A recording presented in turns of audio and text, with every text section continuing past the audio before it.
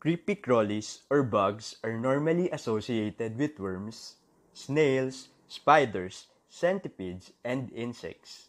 But how can we differentiate insects from other creepy crawlies? Insects are arthropods, like spiders and centipedes.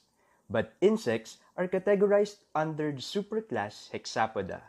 Hexa comes from the Greek word hex, meaning six, and poda from the Greek word pos, meaning foot.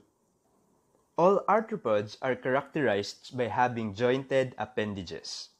Therefore, insects, spiders, and centipedes also have jointed appendages. But insects can be differentiated from other arthropods because they have three distinct body regions or tagmata head, thorax, and abdomen.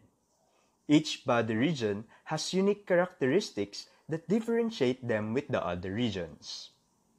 The head is the first and the anteriormost region of the body. It bears the eyes, mouth parts, and a pair of antennae. The thorax is the middle region of the body.